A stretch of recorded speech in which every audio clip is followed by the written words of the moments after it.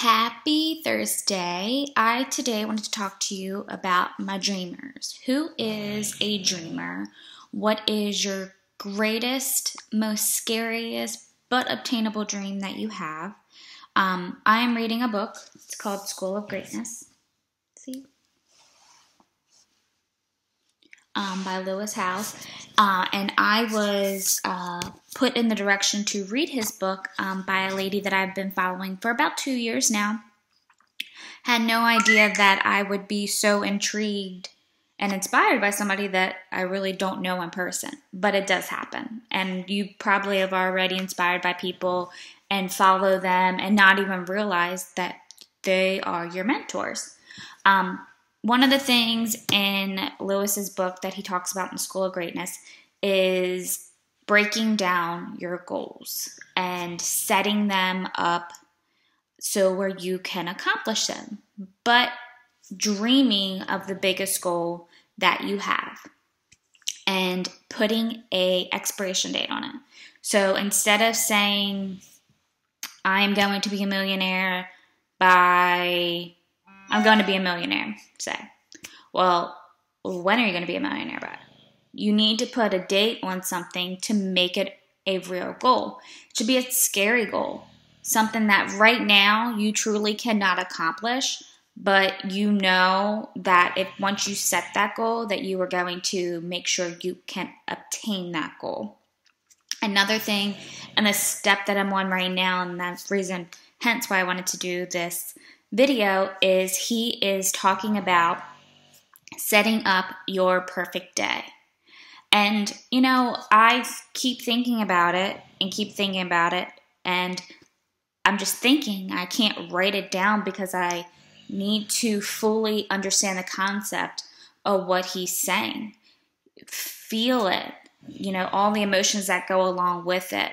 Truly believe, you know, not every day is going to be the same, but if you had your perfect day and with obtaining that goal, how do you want to plan your day? What do you want your day to look like? Um, I know me, I have worked, you know, 60, 70 hour weeks. And when I was in the automotive industry, I, one of the reasons why I don't want to go back in the automotive industry is I fully immerse myself into my job. I will not take any days off. I will work constantly. If there's 163, 168 hours in a day, I will probably be working anytime my phone goes off. And if, you know, if I'm up, I'm going to be working. I will disregard my family. I will disregard my dogs. I will not fully be what I want to be in life. And I will be working for somebody else. I know that I don't want that. I know in my heart of hearts my goal is to move to Hawaii because um, I went there this summer and absolutely fell in love. My goal is to travel. You know, next year, 2016, met a girl on social media, and uh, her goal this year was to go to one new place every single month, and that is my goal for 2016. Even if it's a mini weekend, um, I want to travel. You know, my parents are traveling traveling gurus. They've been, you know, across the country twice on two different, you know, directions and their pictures, their stories, and the experiences that they've had are amazing. Um, but you know, when I moved to Hawaii, like I don't want to work all the time. I want to work maybe 30 hours a week on a Monday through Sunday spectrum. Um, which is not that much considering most people work Monday through Friday you know, either swing shift, 12 hour shifts, or three, you know, Monday through Friday, nine to five, or what have you.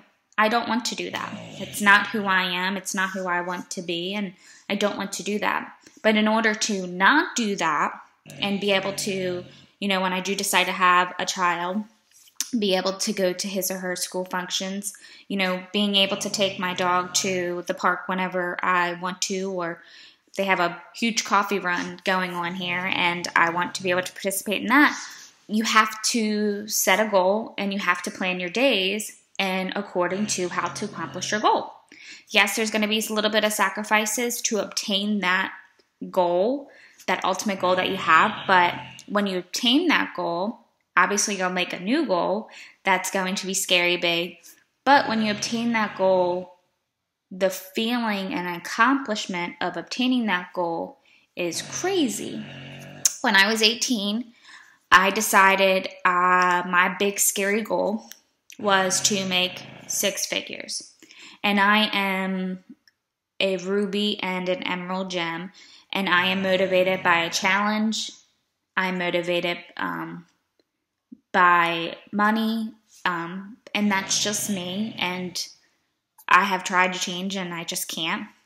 But my goal was to make six figures by the time I was 28. I accomplished that goal well before my 28th birthday.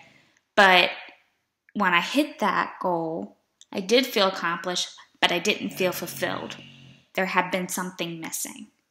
And I don't want, I wasn't living, I wasn't enjoying the fruits of the labor, I guess, so to speak. I wasn't enjoying mm. life.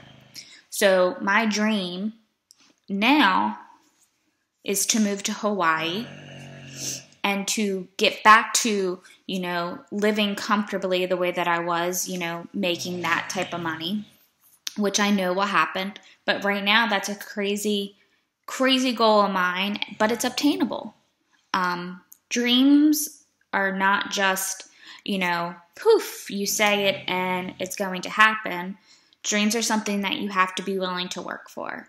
And I certainly know who I am and definitely growing into a better version of who I am every single day by working on my personal growth, which I am going to be in December hosting a group. Um, it's a My Mind cha- Challenge where we'll be taking 21 days of oh, fulfilling our working our minds as well as fueling our body oh, and building ourselves up from the inside, and then the outside will take control, you know, after the 21 days.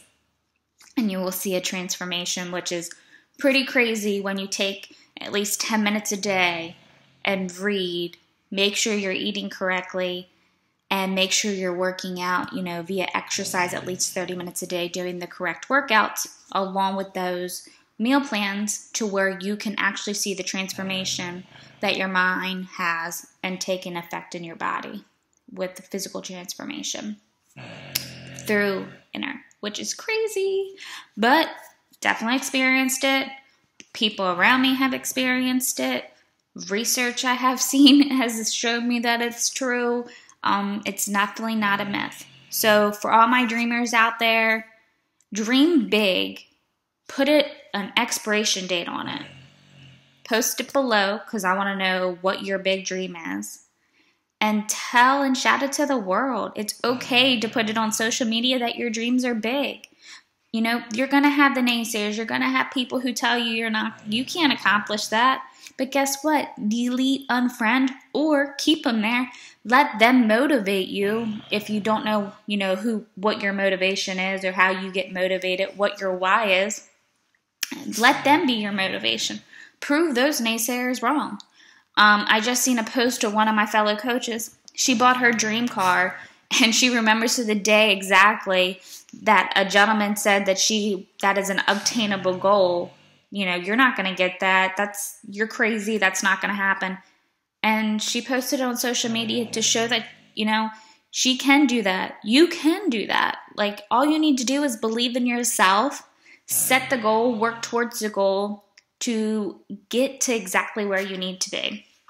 Again, I'm reading The School of Greatness, and so far it's been a very, very awesome book. I'm only in the very beginning, but I was able to figure out so much this past two weeks about myself and truly need to, would need to get out of my own way basically and how I'm going to get out of my own way is by following exactly how I want to schedule my perfect day during when I achieve my great goal.